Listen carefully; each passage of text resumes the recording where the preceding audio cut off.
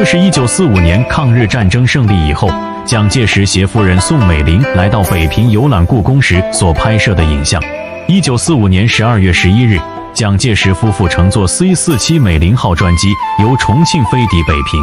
现在是十三日上午，蒋宋二人与一众随行人员来到故宫太和殿时的景象。镜头中可以看到，时任第十一战区司令长官兼河北省主席的孙连仲和北平市市长熊斌，以及蒋介石的贴身侍卫和特勤总管黄仁林。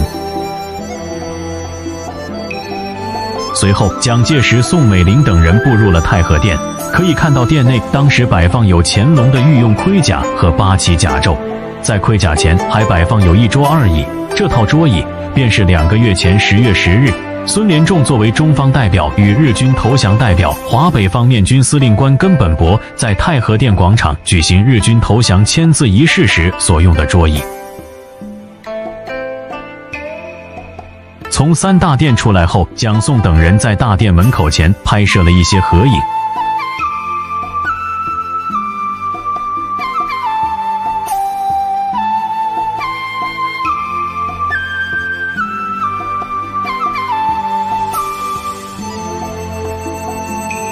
参观完三大殿之后，蒋介石等人来到了位于太和殿西侧的武英殿。清兵入关后，摄政王多尔衮曾在这里理政，少年康熙曾在此擒拿权臣鳌拜。全程负责引导蒋宋二人参观游览的是故宫总务处处长张廷济。现在是蒋介石等人在降雪轩午餐后游玩钟粹城前二宫，经大城左门来到坤宁宫交泰殿和乾清宫时的场景。一九三七年北平沦陷，张廷济临危受命留守故宫，以总务处长的身份担当着院长的责任。八年之中忍辱负重，与日伪周旋，虽经历献铜献铁，但故宫文物并未遭受巨大的损失。张廷济功不可没。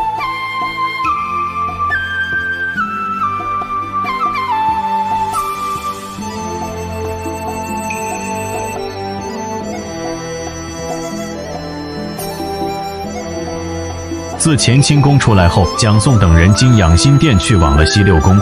长春宫是西六宫之一，慈禧和慈安两宫太后都曾在这里居住。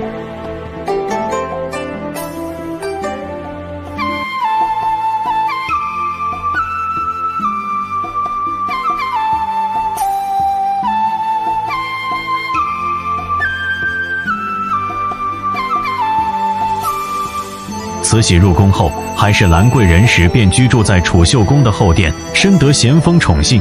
后又在这里生下了咸丰唯一的儿子同治。清朝的末代皇后婉容也曾在储秀宫居住。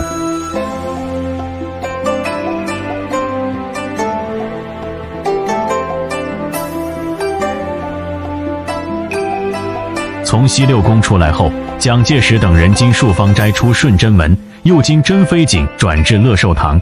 乾隆和慈禧都曾在此居住。现在看到的是堂内摆放的圆明园的模型。这里还摆放有三块巨大的玉雕，一块是耗时十余年、重达五吨多的大禹治水玉山，另外两块是来自新疆和田的寿山和福海。